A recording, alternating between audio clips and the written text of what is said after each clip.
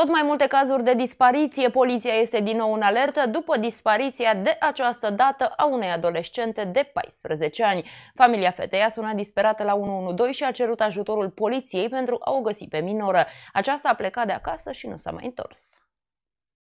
Minora în vârstă de 14 ani din Craiova este căutată de către polițiști după ce tatăl acesteia a anunțat faptul că fica lui a plecat de acasă luni și că nu mai știe nimic despre ea de atunci. Flori Mustafa are următoarele semnalmente, înălțime 1,50 m, aproximativ 40 de kilograme, păr șaten, lung, ochi căprui. Ultima dată când a fost văzută, minora purta pantalon de culoare neagră și un halat de culoare roz. Persoanele care dețin informații utile cu privire la persoana dispărută sunt rugate să apeleze numărul unic de urgență 112 sau să anunțe cea mai apropiată unitate de poliție, au transmis polițiștii gorjeni. Minora este cunoscută cu plecări repetate de la domiciliu și este căutată de polițiști și în județele vecine.